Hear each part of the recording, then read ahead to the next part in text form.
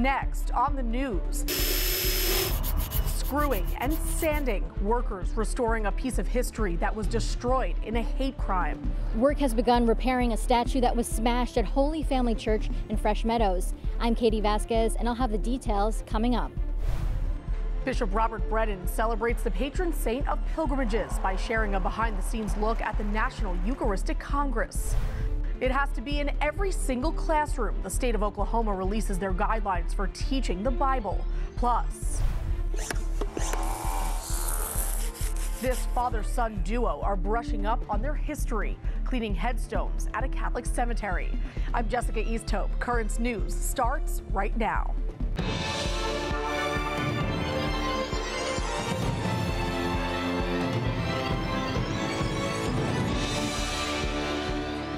Queens parish is now picking up the pieces, repairing a statue after it was beheaded in June. According to prosecutors, a taxi driver committed a hate crime at Holy Family Church, sending shockwaves through the pews. But as Currents News' Katie Vasquez tells us, healing can now begin in the Fresh Meadows community. Put a plate inside. Put two plates. Screwing and sanding. Workers restore this landmark that has stood at Holy Family Church in Queens for the past 42 years. That statue has a lot of meaning to us, and uh, especially to to decapitate the head of Jesus hurts us so much because that is our Lord and Savior. Pastor Father Sean Suckiel still remembers discovering the desecration. Surveillance video caught the man identified by prosecutors as 44-year-old Jamshid Chowdhury walking up to the Fresh Meadows Parish at 5:30 in the morning on June 30th. You can see him hitting the statue of the child Jesus, eventually knocking off its head leaving Father Suckiel asking some hard questions. Why would someone do something like that?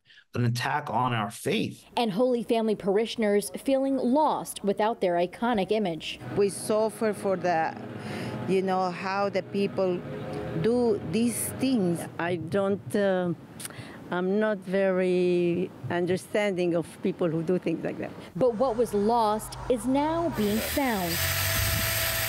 The company that first built the statue decades ago, called Cave Company, was brought in to repair it Thursday bringing it back to its former glory. We're using the same resin it's made out of to reinforce it and the rod that I used is aluminum, so it, it won't rust. It, will last. This broken piece of parish history now made whole again. And everybody's happy that everything is all put back together. I'm, I'm, I'm glad to be a part of that. Oh, Sean will be very happy about it. Longtime parishioner Carol Ann Foley was emotional seeing the Son of God standing tall again. I got chills, you know, his head is back on. We can come here and we can feel a little bit more peace. And Father Suckiel says the parish is ready to put this behind them. We definitely forgive him.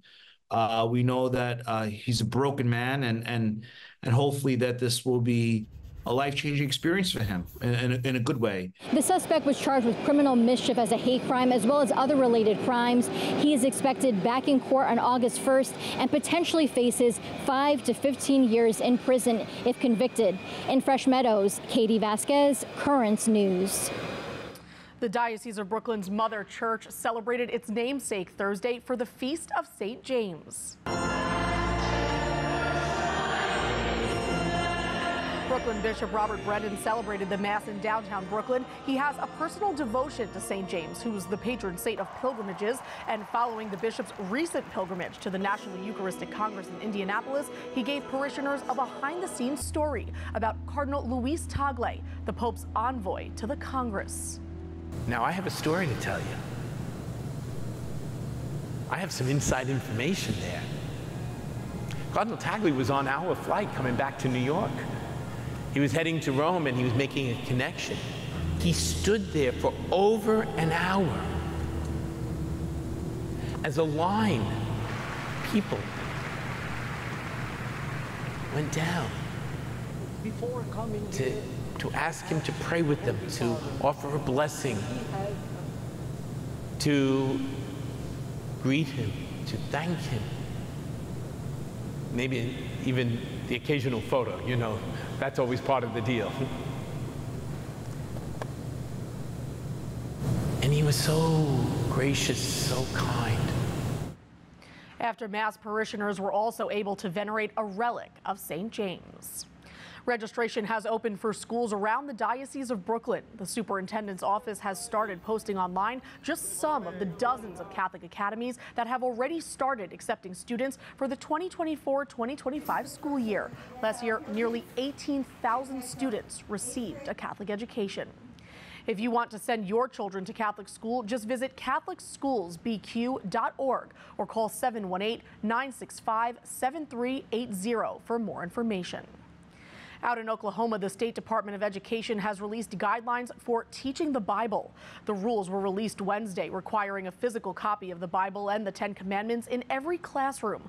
Teachers must use the text as instructional support, referencing the Bible to provide historical context or discuss literary and artistic influence. The Oklahoma State Superintendent says he wants these guidelines in place by the first day of classes. These are the standards that the teachers should be teaching. So the reality is, is what we will be doing is making sure that they have the sources there available to do it. We will make sure that they've got this clear guidance in order to do it. That's where you saw this. We're going to be rolling out more um, uh, documents for teachers to use. Some school districts in Oklahoma have already said they will not follow the order. A St. Louis father and son are spending their summer brushing up on history literally. The duo has embarked on an unusual project, cleaning headstones at a Catholic cemetery. Take a look. No, that's the wrong edge. We have to keep going straight. A father and son are brushing up on history by brushing off the past. It's right there. Armed with brushes, scrapers, and a special cleaning solution. Oh, yeah. Zach Leonard and his 10 year old son Lincoln have taken on an unusual summer project at Calvary Cemetery, a Catholic cemetery in the Archdiocese of St. Louis. I think it's important to preserve history. Doesn't mean if you don't, it's going to get lost, and to know your past is very important. What started as a curiosity became a calling. The Leonards came to Calvary Cemetery looking for roots, but found themselves planting seeds of remembrance. We found out that I had a great grandfather, his great great grandfather, who was a veteran of World War I and World War II.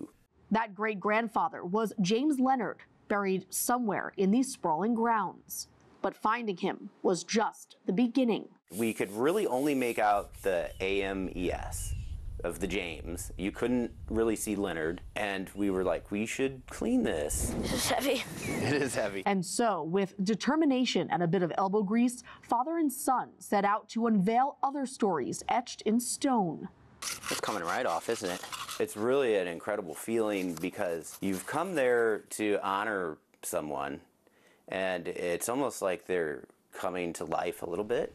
I hope that he learned that acts of kindness don't require an organization or don't require donations. Even if it's something small, everything makes a difference in some way, and it can affect a lot of people.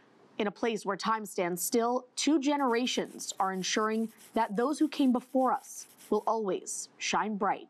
It's easy to do, really, if you're just willing to take the time Calvary Cemetery has been around since 1854 and spans 470 acres with over 300,000 graves. It's the final resting place for many notable figures, including General William Tecumseh Sherman and Dred Scott. But the Leonards are restoring every headstone, celebrity status or not. And before we go, Currents News is taking a break next week. But don't worry, there's still lots of great programming. Just some of the highlights will show you the Catholics who are putting their faith into action and the best feel good stories over the last year, plus a Eucharistic revival show. We'll be back on Monday, August 5th. That is this Currents News update. I'm Jessica Easthope. Thank you for joining us because we are putting your faith in the news. Hope to see you again next time.